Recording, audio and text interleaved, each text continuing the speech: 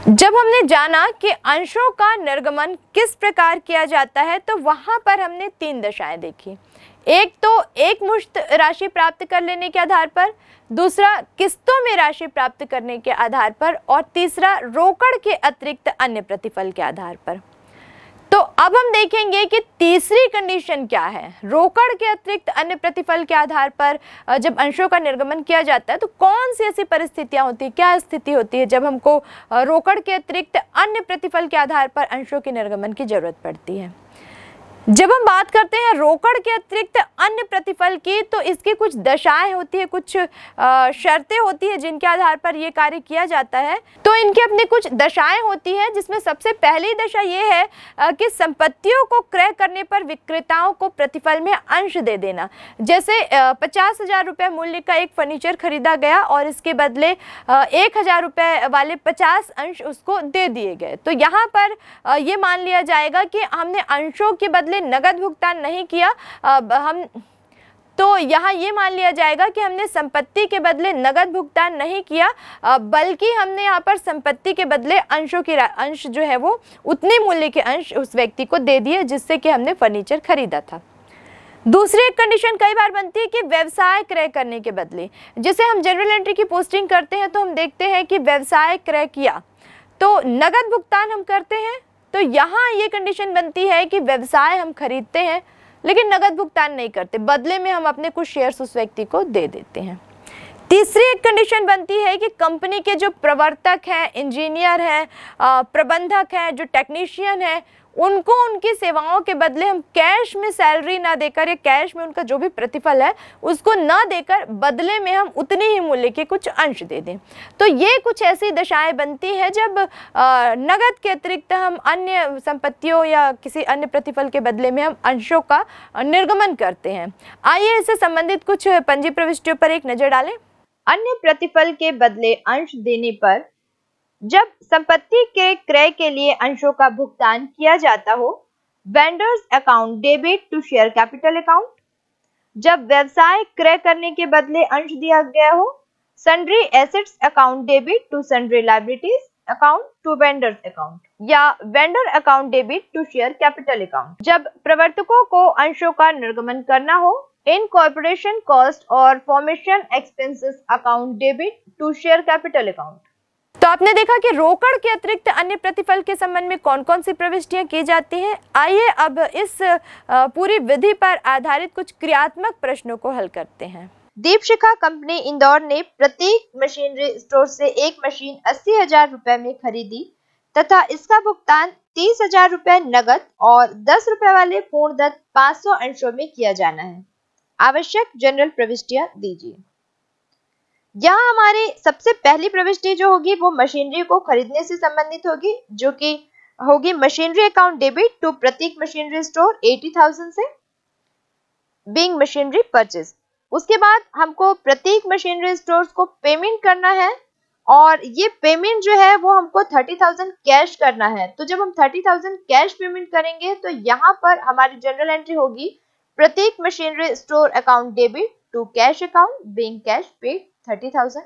अब क्योंकि हमको पाँच हज़ार अंशों में दस रुपए के हिसाब से पचास हज़ार रुपए जो है वो शेयर से पेमेंट करना है तो इसके लिए हमारी पंजी प्रविष्टि हो जाएगी प्रत्येक machinery store account debit to share capital account being share issued for purchase of machinery fifty thousand दस रुपए वाले ग्यारह हज़ार अंश, दस प्रतिशत प्रीमियम पर कंपनी के प्रवर्तकों को उनकी सेवाओं के बदले निर्गमित किए गए आवश्यक पंजी प्रविष्टि कीजिए।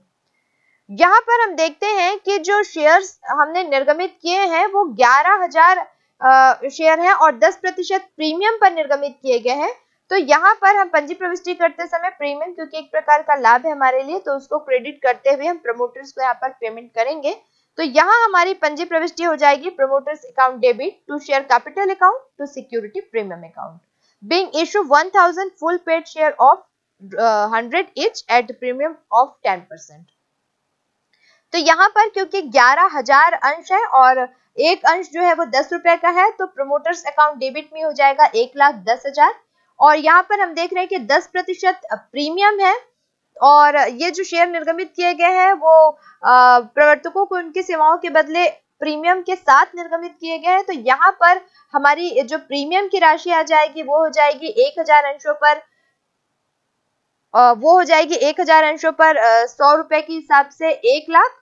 और क्योंकि इसका दस प्रतिशत हमको प्रीमियम देना है तो एक लाख का दस प्रतिशत, यानी कि दस हज़ार रुपया जो वो प्रीमियम की राशि हो जाएगी और टोटल जो प्रमोशन प्रमोटर को पेबल अमाउंट होगी, वो हो जाएगी एक लाख दस हज़ार। तरन्या लिमिटेड ने तनिष्क लिमिटेड से एक मशीन सात लाख बीस हज़ार रुपए में खरीदी तथा भुगतान में सौ रुपए वाले पूर्ण दत्त अंश निर्गमित किए। तरन्या लिमिटेड के पुस्तकों में जनरल प्रविष्टि कीजिए। यदि अंश 20 प्रतिशत प्रीमियम पर निर्गमित किए गए किए गए हो और यदि अंश सम मूल्य पर निर्गमित किए गए हैं। तो सबसे पहले हम वे प्रविष्टियाँ करेंगे जब अंशों को 20 प्रतिशत प्रीमियम पर निर्गमित किया गया हो। तो यहाँ हमारी जनरल एंट्री होगी। Machinery account debit to Tanishq limited being machinery purchase seven lakh twenty thousand से मशीन यहाँ पे परचेस की गई है। और अब जब हम उनको पेमेंट करेंगे तो हम ये ध्यान में रखेंगे कि 20 परसेंट प्रीमियम पर निर्गमित करने हैं हमको शेयर इनको पेमेंट करने के लिए। तो यहाँ हमारी जनरल एंट्री हो जाएगी Tanishq limited account debit to share capital account to security premium account तो यहाँ पर हम देखते हैं कि बीस प्रतिशत जो है वो प्रीमियम पर निर्गमित किए गए हैं ये शेयर और 600 शेयर जो नंबर ऑफ़ शेयर है यहाँ पर वो 600 है। तो सबसे पहले हम यहाँ पर अंशों की संख्या निकाल लेंगे कि कितने अंश हैं। तो यहाँ हम प्रश्न में देख रहे हैं कि सात लाख बीस हज़ार रुपए में वो मशीनरी खरीदी गई है और फ़र्स्ट कंडीशन, जबकि 20 प्रतिशत प्रीमियम पर अंश निर्गमित किए गए। तो हम देख रहे हैं कि जो एक अंश है वो सौ रुपए का है। अगर उस पर बीस प्रतिशत प्रीमियम दे दी जाए तो वो बीस रुपया उसमें एक्स्ट्रा जुड़ जाएगा, यानी कि वो शेयर एक सौ बीस रुपए का हो जाएगा। तो इस आधार पर हम नंबर ऑफ़ शेयर अगर कैलकुलेट करते हैं कि वास्तव में अंशों की संख्या क्या थी तो हम कैलकुलेट करेंगे इसको seven lakh twenty thousand divided by one hundred twenty तो सिक्स थाउज़ेंड जो है वो नंबर ऑफ़ शेयर हमको मिल गए, छह हज़ार शेयर हमारे पास थे।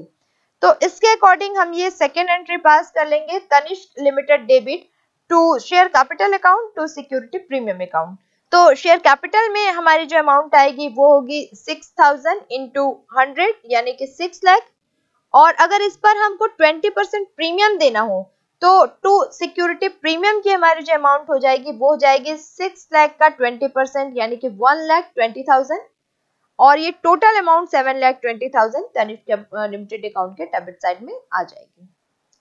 जब सम मूल्य पर अंशों को निर्गमित किया जाए तो इस कंडीशन में हम सबसे पहले देखते हैं कि कितने शेयर निर्गमित किए गए। तो यहाँ पर क्योंकि सात लाख बीस हज़ार में मशीनरी खरीदी गई है और सम मूल्य यानी कि सौ रुपए पर ही अंशों को अगर निर्गमित किया जाता है तो सात लाख बीस हज़ार को तो सेवन लाख ट्वेंटी थाउज़ेंड को हम हंड्रेड से डिवाइड कर देते हैं। हंड्रेड रुपीज़ जो है वो फेस वैल्यू यानी कि सम मूल्य है। तो यहाँ पर हम देखते हैं कि seven thousand two hundred share हमने इशू किए हैं। अब इनकी जनरल एंट्री हम करेंगे machinery account debit to Tanishq limited seven lakh twenty thousand से बिंग मशीन परचेस और जब पेमेंट की हम एंट्री करेंगे, जबकि हमको फेस वैल्यू पे, यानी हंड्रेड रुपीज़ पे ही हमको शेयर इशू करके इनको पेमेंट करना है तो यहाँ हमारी एंट्री हो जाएगी Tanishq limited account debit to share capital account seven lakh twenty thousand being seven thousand two hundred share issued at par Jet limited ने एक मशीन उनचालीस हज़ार छह सौ रुपए में नीरज ट्रेडर से खरीदी जिसका भुगतान दस रुपए वाले अंशों में किया गया। निम्न दशाओं में पंजी प्रविष्टियाँ कीजिए। पहला, जब 10 प्रतिशत प्रीमियम पर निर्गमित किए गए हो और दूसरा, जब 10 प्रतिशत कटौती पर निर्गमित किए गए हों। इस प्रश्न में, जब हम पहले कंडीशन में जनरल एंट्री पास करेंगे, यानी कि जब 10 प्रतिशत प्रीमियम पर अंशों का निर्गमन किया गया तो इस कंडीशन में सबसे पहले हमको ये पता लगाना होगा कि वास्तव में निर्गमित किए गए अंशों की संख्या कितनी थी। तो निर्गमित किए गए अंशों की संख्या पता लगाने के लिए हम, क्योंकि हमारे पास जो भुगतान करना है अंशों का, वो एक अंश दस रुपए का है। और फ़र्स्ट कंडीशन में दस प्रतिशत प्रीमियम पर अगर हम उसको निर्गमित करते हैं तो दस रुपए का दस प्रतिशत यानी कि एक रुपए उसमें अतिरिक्त जुड़ जाएगा, क्योंकि प्रीमियम की राशि ऐड हो जाती है। तो ये जो शेयर है, वो हो जाएगा ग्यारह रुपए का। और अब हम यहाँ पे देख रहे हैं कि हमने जो पैसे हमने जो मशीनरी खरीदी है वो मशीनरी है उनचालीस हज़ार छह सौ रुपए की। और इस पर अगर हम ग्यारह हज़ार ग्यारह रुपए के हिसाब से अंश निर्गमित करते हैं यानी कि उनचालीस हज़ार छह सौ डिवाइडेड बाय यानी कि 39,600 डिवाइडेड बाय 11 हम करते हैं तो 3600 जो नंबर ऑफ़ शेयर है वो हमको पता चल जाएगा कि 3600 अंशों को निर्गमित किया गया था। तो क्योंकि 3600 अंशों को निर्गमित किया गया था तो यहाँ पर हम एंट्री पास करेंगे सबसे पहले machinery account debit to Neeraj traders account और uh, क्योंकि उसकी सेलिंग प्राइस जो है वो है 39,600 तो यहाँ हम अमाउंट लिखेंगे 39,600 लेकिन सेकंड हमारी जो एंट्री होगी अमाउंट पे, पेड करने की वो होगी Neeraj traders account debit to share capital account to security premium account और ये यहाँ पर हमको ध्यान रखना है कि 3600 शेयर हमने इशू किए हैं 10 परसेंट प्रीमियम पर। तो क्योंकि 3600 शेयर हमने इशू किए हैं टेन रुपीज़ उनकी फेस वैल्यू थी तो यहाँ पर to share capital account credit side में आ जाएगा 36,000 और इसका 10 परसेंट हमको प्रीमियम है यहाँ पर तो ये सिक्योरिटी प्रीमियम हो जाएगा 36,000 का 10 परसेंट यानी 3600 और ये टोटल 39,600 जो है वो नरेश ट्रेडर्स को पेड हो जाएगा। बिल्कुल, इसी तरह जब हमको 10 परसेंट डिस्काउंट पर पे करना होगा तो हमको यहाँ पर सबसे पहले फिर वही बात पता लगानी है कि वास्तव में अंशों की संख्या कितनी थी। तो यहाँ पर हम देख रहे हैं कि 30 तो यहाँ पर हम देख रहे हैं कि टेन रुपीज़ का एक शेयर है। अगर इस पे हम 10 परसेंट डिस्काउंट दे देते हैं तो इस कंडीशन में टेन रुपीज़ का टेन परसेंट यानी कि वन रुपीज़ अगर हम टेन में से माइनस कर देते हैं तो एक जो शेयर है वो नाइन रुपीज़ का हो जाता है। और अब जब हम thirty nine thousand six hundred divided by nine करते हैं तो हम देखते हैं कि हमने फोर्टी फोर हंड्रेड शेयर यहाँ पर इशू किए। अब फोर्टी फोर हंड्रेड शेयर को ध्यान में रखते हुए हमको यहाँ पर एंट्री पास करनी है। तो इस सेकेंड कंडीशन में फ़र्स्ट एंट्री हो जाएगी Neeraj account debit to Neeraj machinery account debit to Neeraj traders being machinery purchase 39,600 तो फ़र्स्ट एंट्री में तो किसी प्रकार का कोई परिवर्तन नहीं आएगा। लेकिन सेकेंड एंट्री में जब हमको 10 परसेंट डिस्काउंट पे शेयर इशू करने हैं तो वहाँ पर हमारी एंट्री होगी Neeraj traders account debit to discount on issue of share account debit to share capital account और अमाउंट हमको लिखना है क्योंकि हमने देखा कि 4400 शेयर हमने इशू किए हैं और एक शेयर जो है वो टेन रुपीज़ का है तो to share capital account credit side में 4400 इंटू टेन यानी कि 44,000 की अमाउंट आएगी। और इस 44,000 का क्योंकि 10 परसेंट डिस्काउंट है तो यहाँ पर discount on issue of share 44,000 का 10 परसेंट फोर्टी आएगा। और दोनों का जो डिफरेंस है 44,000 माइनस फोर्टी दोनों का जो डिफरेंस है यानी कि यहाँ पर हम देखते हैं कि 39,600 जो है वो नीरज ट्रेडर्स को पे हो जाएगा। एक सीमित दायित्व वाली कंपनी ने विक्रम ट्रेडर्स से बहत्तर हज़ार रुपए मूल्य की संपत्ति खरीदी। उसके भुगतान में सौ रुपए मूल्य के पूर्ण दत्त सामान्य अंश निर्गमित किए। पंजी प्रविष्टियाँ दीजिए, यदि अंश निर्गमित किए हो। पहला सब मूल्य पर, दूसरा बट्टे पर, तीसरा प्रीमियम पर। संपत्ति खरीदने पर यहाँ पंजी प्रविष्टि की जाएगी। Assets account debit to Vikram traders. क्योंकि यहाँ पर 72,000 की संपत्ति खरीदी गई है और उसके बाद इसके भुगतान की प्रविष्टियाँ करनी है तो सबसे पहले हम संपत्ति को खरीदने की प्रविष्टि कर लेंगे 72,000 से। सेकेंड एंट्री जब हम विक्रम ट्रेडर्स को इक्विटी शेयर कैपिटल देंगे और कंडीशन ये है कि फेस वैल्यू पे एट पार ये पेमेंट किया जाएगा यानी कि पूरा का पूरा 72,000 उसको दिया जाएगा तो इस कंडीशन पे यहाँ पर जनरल एंट्री होगी Vikram traders debit to equity share capital account 72,000 के और यहाँ पर हमको 70 और यहाँ पर हमको seven hundred twenty equity share issue करने पड़ेंगे इसलिए क्योंकि हंड्रेड रुपीज़ एक शेयर की वैल्यू है तो 72,000 के लिए हमको 70 तो 72,000 के लिए हमको seven hundred twenty share issue करने पड़ेंगे। सेकेंड कंडीशन में जबकि इस 72,000 को हमको 10 परसेंट डिस्काउंट पर अगर पेमेंट करना है इस कंडीशन में जनरल एंट्री होगी Vikram traders account debit discount account debit to equity share capital account और 72,000 पे हम यहाँ पर देखते हैं कि 72,000 हमको ये मानना है कि आफ्टर डिस्काउंट ये अमाउंट है तो हमको ये कैलकुलेशन करनी है कि तो फिर इसकी नेट अमाउंट क्या रही होगी? तो यहाँ पर हम कुछ वर्किंग नोट कर लेंगे। सबसे पहले हम ये देखेंगे कि अंशों की संख्या क्या थी। तो अंशों की संख्या ज्ञात करने के लिए जैसे कि हमने पहले भी देखा था कि क्रय प्रतिफल की राशि बटे अंश का निर्गमित मूल्य यहाँ पर हमको लिखना है। तो यहाँ क्रय प्रतिफल की जो राशि है वो तीनों कंडीशन में अलग अलग आएगी। सम मूल्य पर निर्गमित अंशों के लिए जब हम अंशों की संख्या निकालेंगे तो यहाँ पर 72,000 डिवाइडेड बाय 100 करेंगे यानी कि 720 शेयर आएगी। सेकंड कंडीशन में अगर बट्टे पर निर्गमित अंशों की संख्या हमको कैलकुलेट करनी है तो क्योंकि हंड्रेड रुपीज़ का शेयर है और उस पर हमको टेन परसेंट यानी कि हंड्रेड का टेन परसेंट यानी टेन रुपीज़ अगर हमको बट्टा देना है तो इसकी जो नेट अमाउंट होगी, वो होगी hundred minus ten equal to ninety rupees और जब हम सेवेंटी टू थाउज़ेंड जो टोटल अमाउंट है, इसकी उसको ninety number of share ninety से डिवाइड करेंगे तो अंशों की संख्या हमको 800 मिल जाएगी। 800 शेयर्स हमको यहाँ पर मिल जाएँगे। और अभी ये हम देखते हैं कि 800 जो शेयर्स है उस पर अगर नब्बे रुपए जो है वो देने हैं हमको तो 800 शेयर पे नब्बे रुपए के हिसाब से 72,000 विक्रम ट्रेडर्स के अकाउंट के डेबिट साइड में आ जाएगा। और इन्हीं 800 शेयर्स पे 10 रुपए जो है वो बट्टा हो जाएगा। 10 प्रतिशत यानी कि 100 का 10 प्रतिशत दस रुपए बट्टा हो जाएगा तो आठ हज़ार रुपए बट्टे की अमाउंट हो जाएगी और टोटल 80,000 इसके शेयर कैपिटल हो जाएगी।